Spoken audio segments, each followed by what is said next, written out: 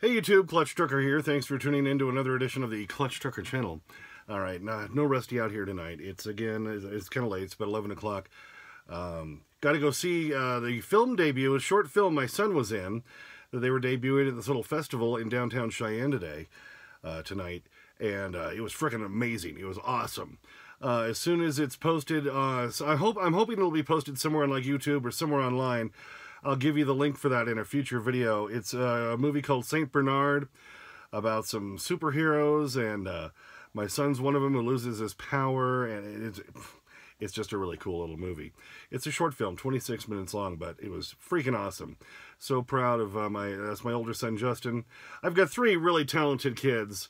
Uh, they all have their their strengths, and they and they're all good kids, and so it was really neat to be able to go uh, do this, see it on the big screen uh, tonight and get to do that. So kind of took a break off everything else today. That's like I say, part of this whole project is um, also to spend time with my family. That was the whole point of this. I get to spend time with my family and do this whole project. And I got to see that great uh, film tonight. Then tomorrow night, I'm going to go see a show that he's in uh, through the school, University of Wyoming in Laramie. So that'll be fun. So I told you today I was going to take out the mattress and the tray, uh, the main mattress and main tray and everything, uh, today, pull the vinyl off the back wall. Well, we haven't gotten to any of that. Because um, I, I kind of ran into a snag last night, and I was looking at it again this afternoon. And uh, I think I'm going to have to rethink the whole project. Yeesh. Where I had planned to put the cassette toilet right behind the passenger seat, um, after I got that cabinet down last night and, uh, and, I was looking at that wall again today, I looked at it last night briefly and I found an extra support in there I wasn't expecting. And it's not going to be wide enough for the cassette part to come out and for the door I need to put in the wall. So I've kind of run into a giant snag. Uh, yeah, I could cut into that support that's in the wall. I really hate to do that because it's at the bottom of the wall so it's supporting everything above that. And that's what those bolts uh, up the wall were mounted into. They go up further up. And if I'm going to use that for structural support, kind of hate to cut out the support in the bottom. Makes me a little nervous. So like I say, kind of hit a little snag here. Um, I'll, I'll, show you what I'm talking about. Okay, right here, here's where the uh, that other cabinet was. Here's where the toilet was going to go. And may or may not still. But see, here's the wall back here. and Okay, so you pull out this little false wall here. And you can get back into the insulation and stuff. And see, right down here, you have a support there. You have a support there. You have a support there. That is not very wide right there. I need it to be wider than that. So I've got to put that door in. The cassette part itself might still slip through there, but the door's got to be in the wall, and that support right there would have to go away. And I, like I say, I really hate cutting into that. The one that's to the left of that, if you follow up the wall, that's where the uh, bolts are. But that one's in the wall, and it's a support for the whole structure of the truck. Really hate to have to cut it out. So this is where I may have to rethink the whole position of the cassette toilet.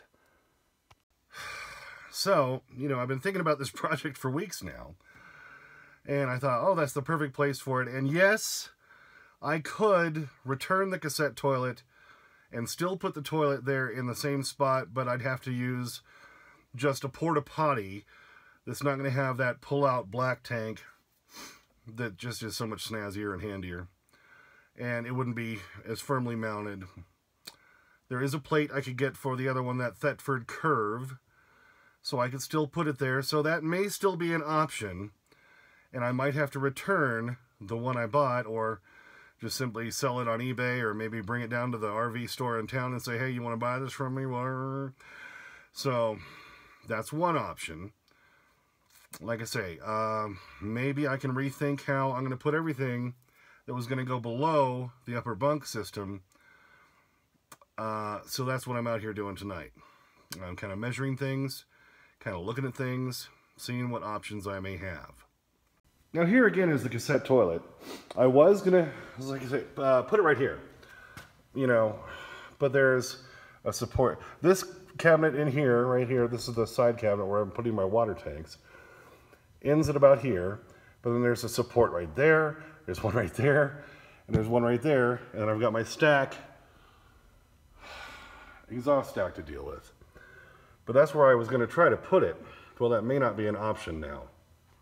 See the uh, position I have my toilet in now. This area here is going to would need to go into an outside wall, so you can pull that cassette part out. This does have a neat feature. You see how you can rotate the actual part you sit on.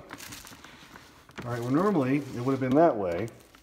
Well, I can rotate it sideways. The whole thing will stay still. So that I could put that on an outside wall and you zoom into it this way and plop into your business.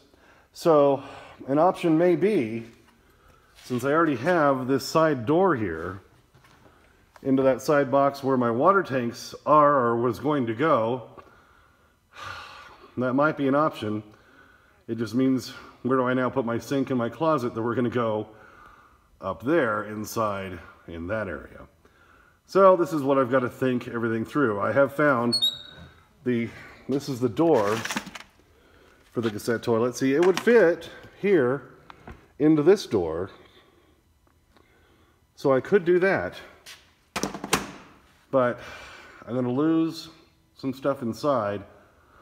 I'd have to cut into the wall inside. That wall's already that wall's already been cut into for the ducts. That's where they used to go up. They're all just kind of lying down here now from the APU. And I could maybe get rid of that wall and just continue the floor back here.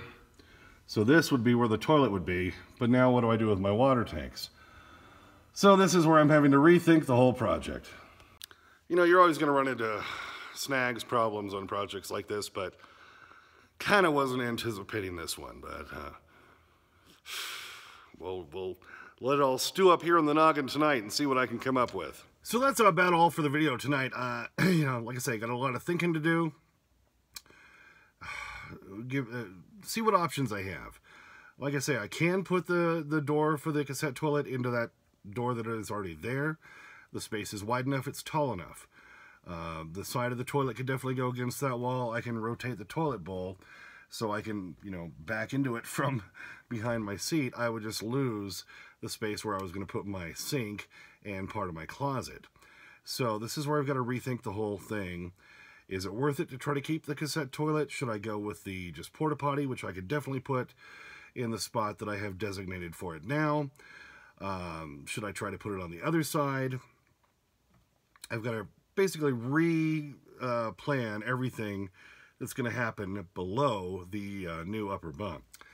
So there's where we are, you know. You do something like that. I, I, I didn't have blueprints on the truck. Had I had that in the first place, uh, you know, that would have been helpful. Um, I didn't anticipate that the extra supports that were in the wall there. So, got to rethink it. Uh, I'm going to come up with a new plan. Hopefully within the next day or so, I'll have my new plan and I'll have my solution. Uh, certainly, please, if you have any ideas, any suggestions, uh, throw them in the comments. Would love to see them you know, on stuff like this, uh, more than one set of eyes uh, always helps. Uh, if you've been following along the whole process, you know what I'm doing, you know what my basic plan is. So like I say, I would love to hear your suggestions. Thanks for tuning in. As always, please subscribe. Please like and comment if you'd like to, only if you'd like to. I'll get to your comments as soon as I can, probably within the next day or so, uh, or day or two, day or so. I'm trying to say two things at once. Um, and don't forget about Clutch Trucker on Instagram and Twitter. I haven't put anything up there the last couple days, but I will again soon. And as always, sniff that magic YouTube fairy dust. Clutch and Rusty sleeping inside. Out. Hey, Lawrence, let me ask you something. On your job, you know, if you're not, you come in on a Monday, you're not feeling well, you're just not feeling up to it. Does anybody ever come over to you and say, it sounds like someone's got a case of the Mondays? No, man. Shit. No, man. I think you get your ass kicked saying something like that.